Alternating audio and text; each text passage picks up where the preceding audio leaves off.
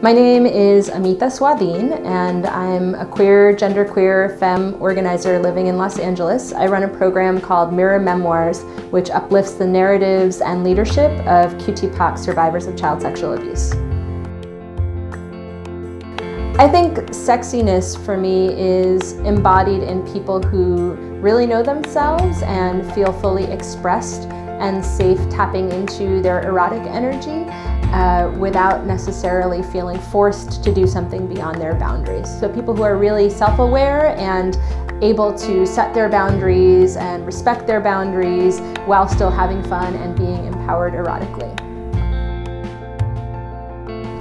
If I could give any advice to my younger self about sex, it would probably be that it's possible to be sober and present and embodied and really emotionally, intimately connected to someone and still have that be a casual experience. That just because you experience authentic connection with someone, it doesn't necessarily mean you have to rush into a relationship. That sex can be casual and fun, but still really sober and present.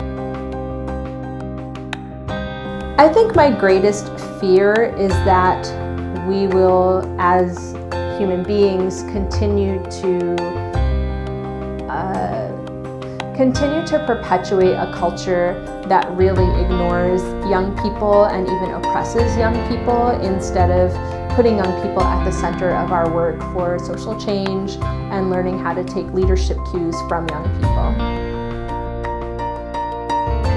I'm not afraid to get an HIV test because I had my first HIV test when I was 16 after years of surviving sexual violence and uh, taking that step was a really empowering way to be in charge of my own health, to know what was truly going on with my body. I had not ever had control over my body, and so going to the doctor, disclosing my history of surviving sexual violence, and consenting to a test about my own sexual health felt like a really good experience. And as an adult who is sexually active, it continues to feel like a really empowering way to just know what's up with my body and uh, what's up with my health.